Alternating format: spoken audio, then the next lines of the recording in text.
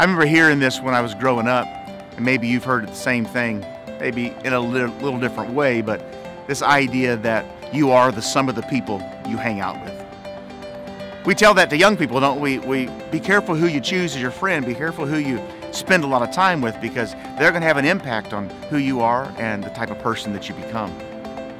It's important that we choose the right people and the right influences, but there's so many people, so many people surrounding us, so many people in and out of our lives, and sometimes we're hesitant. We don't know who to reach out to, who to connect with, who who can be that friend that I need and can help me and I can help them and help me grow in my relationship with God.